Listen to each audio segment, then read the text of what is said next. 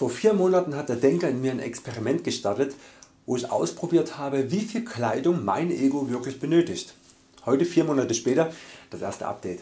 Guten Morgen. Das Video zum Start des Experiments habe ich Euch nochmal oben in den Infokarten verlinkt. Wie bin ich denn damals gestartet? Ich habe drei Oberteile, eine lange, und eine kurze Hose, sieben Schlüpfer und sieben Paar Socken einfach in den Fach getan und versucht damit klarzukommen. 7 Schlüpfer und 7 Paar Socken, das ist immer noch ausreichend und daran hat sich auch nichts geändert. Aber an Oberteilen und Hosen ist jetzt wieder mehr in Benutzung. Ich habe jetzt statt einer kurze und einer langen Hose eine kurze und zwei lange Hosen in Benutzung und bei den Oberteilen äh, statt 3 sind es mittlerweile 8 Oberteile geworden.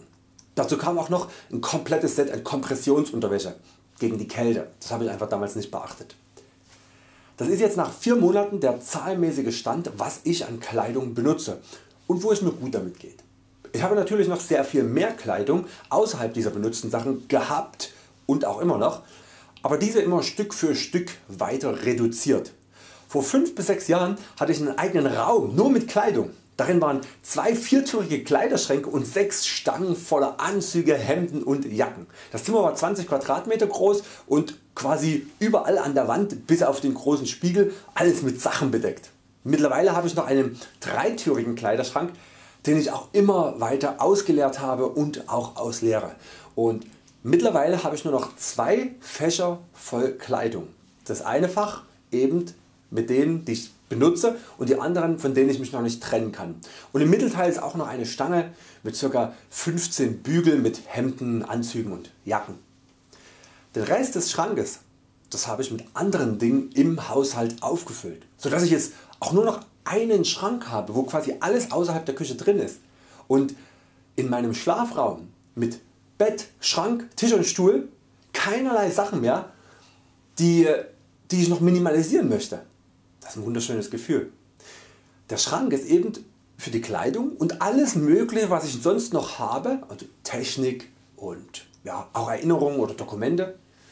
Dann das Bett, das ist halt eben zum Schlafen, der Tisch zum Arbeiten und der Stuhl, der eigentlich ein ausklappbarer Sessel bei mir ist und eigentlich auch nur für Gäste die bei mir schlafen wollen und auch die einzige Sitzgelegenheit für Gäste die nicht die ganze Zeit stehen wollen oder mit mir im Bett liegen. Denn ich brauche eigentlich keinen Stuhl, weil ich arbeite im Liegen. Mein Tisch ist quasi neben dem Bett in der richtigen Höhe, so dass ich aufgrund meines Bandscheibenvorfalls eben im Bett arbeiten kann. Ich kann nur sagen, es ist ein wunderbares Gefühl Stück für Stück im äh, letzten Jahr freiwillig minimalisiert zu haben. Ich war ja schon vor 5 Jahren gezwungen äh, von einer 200 Quadratmeter Wohnung wo ich alleine gelebt habe auf eine 130 Quadratmeter äh, Wohnung wo ich zusammen mit meiner Freundin gelebt habe zu minimalisieren. Das fühlte sich aber damals eher so an wie eine Kastration, auch wenn ich heute darüber dankbar bin. Und dann bin ich von einer gemeinsamen 130 Quadratmeter Wohnung eben dann wieder alleine in eine Wohnung gezogen, in die jetzige mit 28 Quadratmeter Wohnung, mit 28 Quadratmeter Wohnfläche und musste abermals minimalisieren und auch da war wieder viel Zwang dabei und ich habe meine 28 Quadratmeter Wohnung ziemlich voll gequetscht, einfach mit dem Wunsch alles wofür ich mein Geld ausgegeben habe das auch noch in die Wohnung zu bekommen. So ein ganz großer Fehler den wir immer wieder machen. Wir tun aus unserer Vergangenheit Fehler die wir gemacht haben nicht neu überdenken und sagen okay jetzt habe ich das einmal gemacht und nun bleibe ich dabei. Natürlich tut es weh Geld ausgegeben zu haben und dieses dann quasi einfach zu verschenken. Aber es war ein Fehler und wenn man sich jetzt glücklicher fühlt damit dass man halt weniger hat und dann ganz, eine ganz starke Intuition hat, dann sollte man der auch folgen. Ja, und entsprechend jetzt im Zuge des Minimalismus und Hauptinspiration diesbezüglich auch um das zu benennen war liebe Hanna, deren Kanal ich oben euch auch nochmal verlinke, habe ich eben Stück für Stück abgebaut und ja, nun den ersten Raum quasi so gestaltet, dass ich komplett glücklich bin. Äh, für diejenigen die nicht wissen was Minimalismus bedeutet, noch einmal. Es bedeutet nicht dass man so wenig wie möglich hat? Dass man immer weiter minimalisiert und irgendwann dann auf dem Boden schläft und nichts mehr hat, sondern es bedeutet dass man so viel hat wie man persönlich für notwendig erachtet. Das kann individuell verschieden sein, aber es ist wichtig einen Prozess der Bewusstheit voranzustellen, also dass man darüber nachdenkt und nicht einfach sagt, ja alles was ich brauche ist nötig, sondern dass man wirklich darüber nachdenkt. Der eine braucht ein Bett, der andere vielleicht nicht. Der eine braucht eine Waschmaschine, der andere nicht. Es geht einfach darum keinen unnötigen Konsum zu tätigen und alle Gebrauchsgüter die man in Benutzung hat einer erneuten Prüfung zu unterziehen. Denn jeder Besitz den man hat, der verpflichtet auch.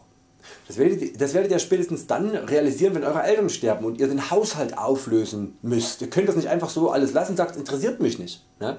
Wenn man etwas kauft, dann hat man dafür Sorge zu tragen. Und je weniger man besitzt, desto freier und sorgenfrei kann man leben. Das ist ein ganz ganz einfacher Zusammenhang, den viele nicht realisieren. Viele häufen einfach nur Besitz an, weil sie von der Werbung beeinflusst werden und dann denken sie bräuchten etwas. Aber schaut Euch mal in eurer Wohnung um. Schaut Euch mal um was ihr wirklich braucht. Ich kann nur nach ca. anderthalb Jahren sagen, die, wo ich meine Wohnung sukzessive minimalisiert habe, es lohnt sich diesen Weg zu gehen. Es lohnt sich wirklich. Es befreit. Und es muss auch nicht von heute auf morgen sein. Viele denken oh Minimalismus, ich mache jetzt das Minimalismus Game und tu jeden Tag was wegschmeißen. Nein, es ist wirklich, es muss nicht sein. Es kann natürlich sein wenn ihr so ein Typ seid, aber macht es Stück für Stück wie es euch angenehm, wie es für euch äh, ja, sich angenehm anfühlt. Anfangen damit bewusster einzukaufen. Das ist mal das erste. Ihr könnt ja die ganze Zeit wegschmeißen, wenn ihr wieder Zeug dazu kauft, dann macht das keinen Sinn. Also bewusster einkaufen keine Spontankäufe, wirklich äh, genau überlegen ob man das wirklich braucht. Wenn ich Euch sage dass ich für meine Kleidung die zum großen Teil aus Markenklamotten und maßangefertigten Teilen bestand locker 20 bis 30.000 Euro in den letzten 15 Jahren ausgegeben habe, dann ist das wahrscheinlich noch defensiv geschätzt. Und wenn ich bewusst konsumiert hätte, dann hätte ich jetzt wieder 10 bis 20.000 Euro mehr auf dem Konto. Und das ist natürlich eine Hausnummer. Ne? Konsum führt auch dazu, dass ihr Verpflichtungen aufbaut. Weil ihr müsst ja konsumieren oder ihr wollt konsumieren, Geld ausgeben und da baut ihr Verpflichtungen auf. Eurem Arbeitgeber gegenüber, den Kreditinstituten, wo euer Haus abbezahlen muss und natürlich auch eurem Ego gegenüber. Besitz führt oft zu Anerkennung in der Gesellschaft. Während ich früher als reicher Mensch von der Gesellschaft hofiert und respektvoll anerkannt wurde, werde ich nun als jemand der sehr wenig Besitz hat von exakt dieser Gesellschaft oft respektlos behandelt und ja, oft gar nicht mehr beachtet. Zum Glück habe ich damals schon über die Gesellschaft und deren Oberflächlichkeiten und auch ihrer primitiven Verhaltensweisen nachgedacht und erkannt wie abgestumpft und wie manipuliert diese Masse an Menschen ist. Deswegen bin ich ja auch irgendwann dazu übergegangen und gesagt okay der Reichtum bitte weg. Ach bevor ich es vergesse noch ganz wichtig, den besten äh, auch suggestiv wirkenden Film zum Thema Oberflächlichkeiten und zum Thema wie, man, ja, wie einfach die Gesellschaft gestrickt ist, den habe ich Euch mal unten verlinkt in der Infobox. Den gibt es glaube ich mittlerweile schon für 5 Euro oder so, den müsst ihr Euch unbedingt reinziehen. Also richtig äh, ja, so Augenöffner. Ne? In meinem Umkreis haben sehr sehr viele Menschen angefangen zu entrümpeln und ja, sich von allen unnötigen Besitz ja, zu trennen und wirklich allen, allen die damit angefangen haben zu minimalisieren, allen, allen geht es jetzt viel besser damit. Das ist eine persönliche Erfahrung die ich Euch mitteile. Das sind locker 10, 15 Leute die das intensiv machen, die intensiv ihre Wohnung minimalisieren. Da sind 10, 15 Leute die genau wie ihr ein Leben habt, die genau überlegen was mache ich um glücklich zu sein, welche Entscheidung treffe ich und so weiter und die mit all ihrer Lebenserfahrung, mit all ihren ja, auch Konditionierung sich dafür entschieden haben, wir minimalisieren unsere Wohnung. Und all diesen Menschen, genau Menschen wie ihr, geht es jetzt besser. Möchtet ihr dass es Euch besser geht? Die Wahrscheinlichkeit ist sehr hoch dass es Euch damit besser geht. Nehmt diese Erfahrung an. Das ist ganz wichtig, die Informationen die ich Euch jetzt hier teile. Das Teilen der Erfahrung von 10 bis 15 Menschen. Ja? Das, ist, das ist sowas wie eine Befreiung und setzt gleichzeitig auch wieder neue Impulse frei, diese Befreiung. Ähm, und also Impulse frei in Bezug auf sein, sein privates Umfeld auch zu überdenken, auch seine Arbeit zu überdenken. Es, es, es, schafft, es schafft neue neurologische Netze. Man hat etwas geändert und man fühlt sich gut dabei. Und so minimiert es die Schwelle die es zu überwinden gilt, wenn es darum geht sowas wie einen Job oder wie ein privates Umfeld, Freunde kritisch zu überdenken und eventuell zu verlassen. Und deswegen ist es so wichtig und gerade der Minimalismus ist so eine einfache Sache, die Dinge los, loszulassen, dass ich sie wirklich Euch ans Herz lege. Einige meiner Freunde arbeiten nun statt 40 Stunden einfach nur 20 oder 30 Stunden und haben mehr Zeit für sich dass sie weniger konsumieren und sich auf die essentiellen Dinge konzentrieren können und lassen sich nicht mehr von der Gesellschaft manipulieren. Wie wichtig es doch ist ein fettes Auto zu haben oder ein Haus zu kaufen ne? oder eine ganz, äh, das Thema ist ja immer auch so, so Altersvorsorge. Ne? Eins der unsinnigsten Dinge die man überhaupt machen kann. Oben Infokarten unbedingt angucken. Und all diese Dinge die führen immer wieder zu Abhängigkeiten und immer wieder zu Verpflichtungen und das bedeutet dass du in diesem Hamsterrad immer wieder gefangen bleibst. Ja? Einige meiner Freunde zieht es zu Gemeinschaften und ähm, ja, kaufen sich eben ein Stück Land und bewirtschaften es. Wofür sie natürlich oft das Geld haben, weil sie sich von Dingen getrennt haben, wie zum Beispiel ähm, ihr Auto oder Besitz. Man muss es ja nicht immer alles so verschenken, man kann es natürlich auch verkaufen. Ja? Diese, diese ganze Blase an Luxus und die damit ähm, von dem Marketing assoziierte Zufriedenheit, die zerplatzt. Ist einfach nur eine Blase, die zerplatzt. Konsum ist einfach nur eine moderne Form der Sklaverei. Genau wie das starre Anhängen an, an Glaubenssätzen. Der moderne Mensch emanzipiert sich von der Gesellschaft hin zu einer Gemeinschaft. Das ist ein ganz wichtiger Prozess und auch eine Stufe der geistigen Evolution. Weg von Zwängen, weg von Ellenbogengesellschaft und Borniertheit hin zu Freiwilligkeit und Liebe. Und im Informationszeitalter geht diese Entwicklung rasanter als jemals zuvor. Wenn ihr diesbezüglich weiter Inspiration wollt, bewusster zu leben und Euren Geist zu transformieren, dann abonniert auch meinen Kanal und trefft mich auch mal während der Wanderung oder der ja, äh, verschiedenen Reisen die ich vielleicht mache zum Messen oder eben zu anderen Potlucks.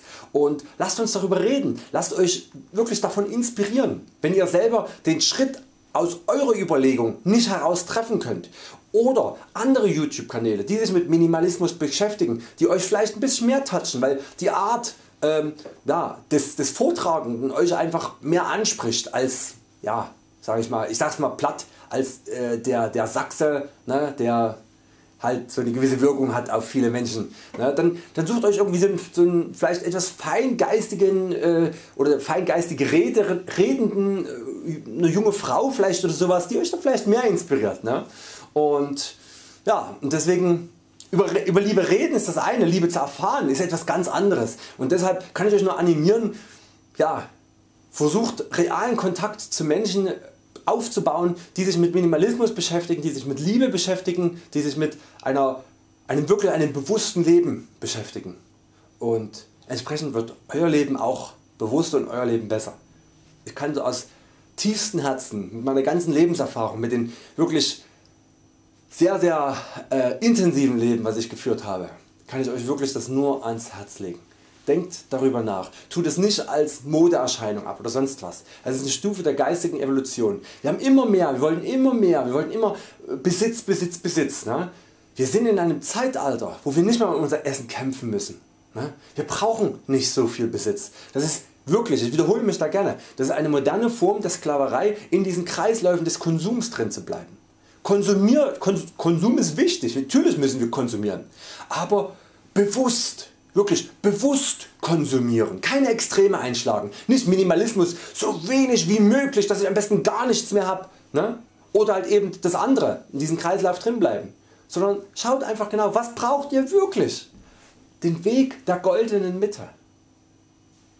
Ich wünsche Euch alles Liebe und dass, ihr, dass ich Euch irgendwie erreichen konnte, ist meine Hoffnung und ja, wir sehen uns morgen wieder, Euer Christian.